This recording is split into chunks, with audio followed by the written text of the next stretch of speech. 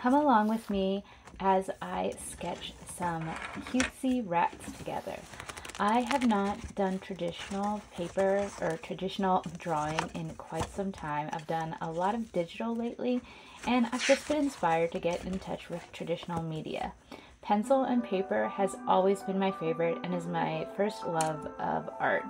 I've always been drawing since around first grade and since then I just kept at it. I mean, there's definitely been months where I just didn't do it so much, and there's been times where I just fell in love with it again. And I'm hoping now that I'm doing art more often and setting some goals that I can draw more and spend some time showing that off. Now, I'm not the best character drawer or animal drawer, even, so don't be too hard on me. I am pretty rusty, and filming from above is still kind of interesting to me because I can't hold the paper exactly how I would want it at an angle or maybe sitting on the couch. It feels very more rigid, but I really actually like how these guys turned out. For inspiration, I of course used Pinterest and just typed in cute rats, and I took some inspiration from there. I saw a, a rat with a chef's hat, I saw a rat eating spaghetti, I saw a princess rat, and they were just so cute and it really made me want to have a pet rat, but that is not possible with four cats, and I just don't have the time to take care of another animal.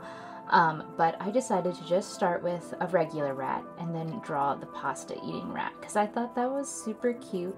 I love going in with a red sketch pencil at first and then defining everything just with a regular HB pencil.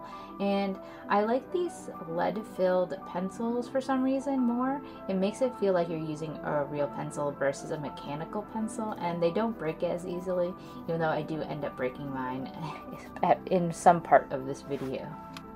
I would love to turn one or a couple of these into a 3D model and that's really my goal lately is trying to incorporate both traditional and 3D art because I find both very relaxing and a lot of fun and there's a different advantages to both. I love traditional because you can really feel the material you're using. Um, you don't have as many chances to correct your mistakes so you kind of have to learn to go with the flow but like digital just opens a whole, whole new realm and i feel like you can do things that you never could do before especially with procreate and nomad sculpt procreate i can feel like i can actually paint and do an illustration versus i have no idea or have the time to really use gouache, I think you pronounce it, or illustration markers that can be so expensive.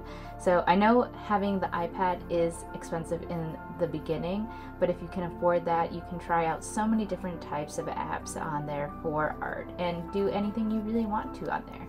And I love Nomad Sculpt because it can create these little creatures can come to life and feel like they're 3D and I can understand the body shapes better because sometimes when you're trying to draw different perspectives on animals, it can get a little confusing and it's definitely difficult for me to find the right angle.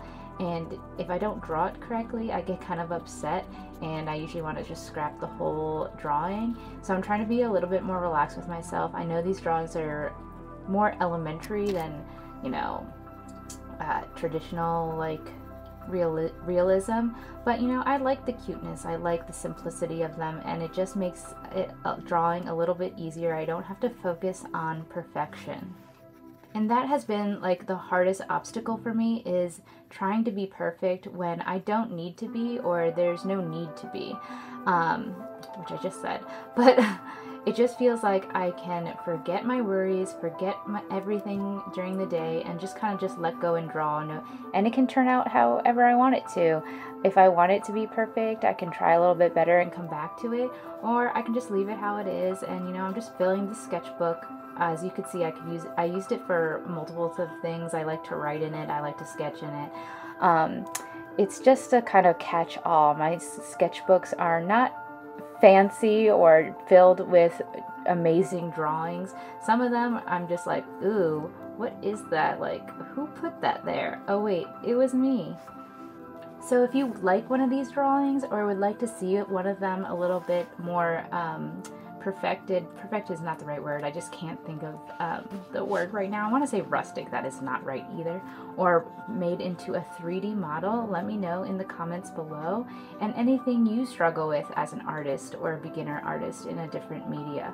Um, if you struggle with uh, perfectionism and just letting go and doing the art for fun, let me know in the comics comics comments below. And lastly, I decided to draw a winter Santa wearing Santa hat wearing rat, not a Santa wearing hat. Oh, rat. Jeez. but yeah, let me know if you like this video, nice and short, just showing off some of my art process and which rat is your favorite. So I hope you like this. Check out my other videos if you like 3D sculpting or somebody learning a new skill. And I'll see you in the next one. Bye!